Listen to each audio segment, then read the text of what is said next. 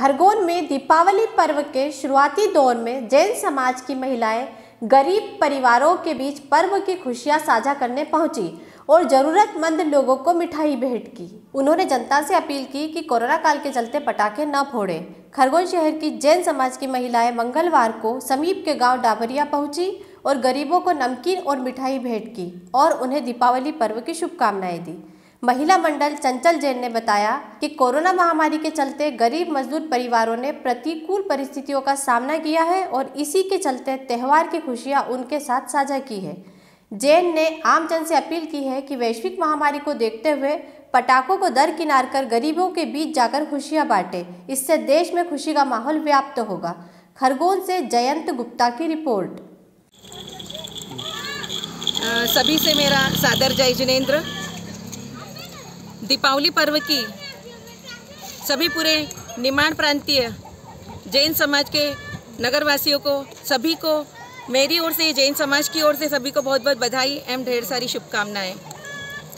दीपावली पर्व पर शासनपति श्रमण भगवान महावीर स्वामी के निर्वाण कल्याण के उपलक्ष्य में निमाड़ प्रांतीय, अखिल भारतीय चंदना श्राविका संगठन एवं जैन श्वेतांबर सोशल ग्रुप खरगोन।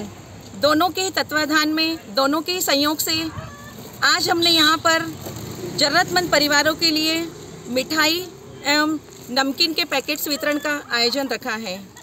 क्या इसके पीछे क्या सोच क्या है आपकी? इसके पीछे सोच ये है कि इस बार अभी जैसे कोरोना काल में इन लोगों को काम काम पे नहीं गए ये लोग और उस उसके कारण से इन लोगों को बहुत ज़रूरत थी। इस कारण हम सभी ने यही प्लानिंग करी कि इस बार इन सभी को मिठाई और नमकीन के पैकेट्स वितरण करना है। मैं इस आयोजन को सफल बनाने के लिए सभी जिन्हीं दानदाताओं को एवं सभी समाजजनों को और सभी श्री संघ के सभी सदस्यों को, मैं सभी को, जिन्होंने कि प्रत्यक्ष और अप्रत्यक्ष रूप से इस कार्यक्रम को सफल बनाने में, आयोजन को सफल बनाने में सहयोग किया, उनको मैं हृदय से आभारी हूँ। और साथ ही विशेष मैं इन सभी के जो ज़रूरतमंद परिवारों को धन्यवाद देना चाहूँगी कि जिन्होंने इस कोरोना काल में हमारी एक छोटी सी भेंट को शहर से स्वीकार कर लिया है। इसलिए उनको संस्था की ओर से बहुत बहुत अभिनंदन, अभिवादन। साथ ही मैं सभी से आज संस्था के माध्यम से यह संदेश देना चाहूँगी कि इस बार दीपावली पर पटाखे नहीं फोड़े। क्यों? क्योंकि पटाखे फोड़ने से धुआँ हो- निकलेगा और उससे कि प्रदूषण होगा और साथ ही साथ उसे सांस लेने में भी तकलीफ़ होगी। और यह सब हम सब जानते हैं कि कोरोना वायरस सभी जगह खूब फैला हुआ है। अतः इसलिए इस बार विशेष मैं यही कहना चाहूँगी वे पटाखे नहीं फोड़े। और जिन पटाखों से वो जो रुपये बचे हैं उन पटाखों से इन जरूरतमंद गरीब परिवारों को उनको सहयोग करें। यही इस संस्था की ओर से संदेश है। और सभी को मैं तहे दिल से पुनः पुनः सभी का आभारी हूँ।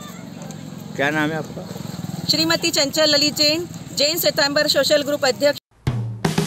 हेलो फ्रेंड्स आप देख रहे हैं हमारा channel S W twenty four news हमारे सारे वीडियो सबसे पहले देखने के लिए आप हमारे चैनल को सब्सक्राइब करें और पास में लगे बेल आइकन को दबाना बिल्कुल भी ना भूलें।